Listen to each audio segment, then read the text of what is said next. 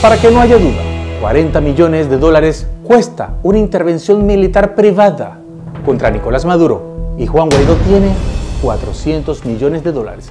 En el régimen de Maduro hay una gran preocupación por el dinero que Estados Unidos ha enviado a la oposición y a Juan Guaidó.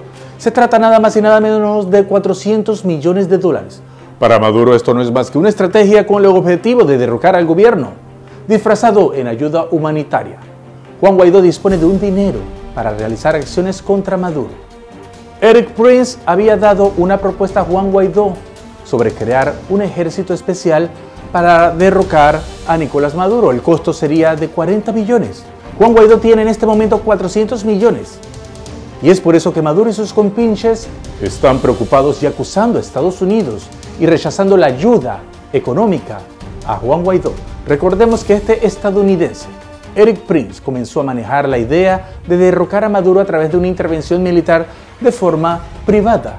La idea tuvo más fuerza cuando Guaidó asumió como presidente encargado.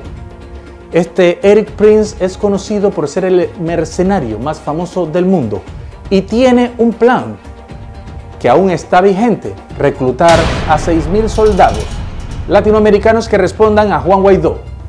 Los militares no serían estadounidenses para que ningún ataque esté relacionado con Donald Trump. Sería una operación relámpago.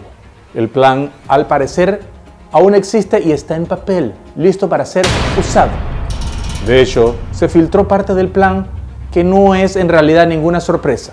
Un grupo haría operaciones en países y regiones aliadas de Maduro. Podría ser Colombia, Brasil, Chile, Panamá. Otro grupo entraría al Palacio de Miraflores para tumbar a Maduro y a su círculo cercano.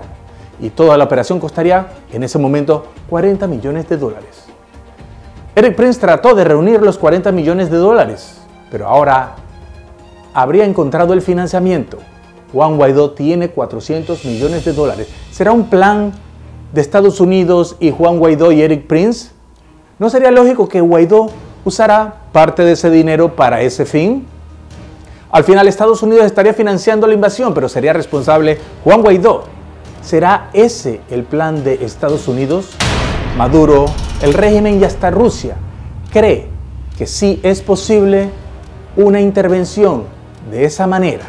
Al final, Estados Unidos quedaría fuera, no estaría implicado en esto, como ha pasado en muchos otros países en donde Estados Unidos da el dinero y la oposición de estos países se encargan de armar a un ejército para derrocar a quienes los están usurpando. En este caso, Nicolás Maduro usurpa el poder en Venezuela. ¿Cree usted que esto sea posible? Díganos usted qué opina. Déjanos tus comentarios y recuerda suscribirte a nuestro canal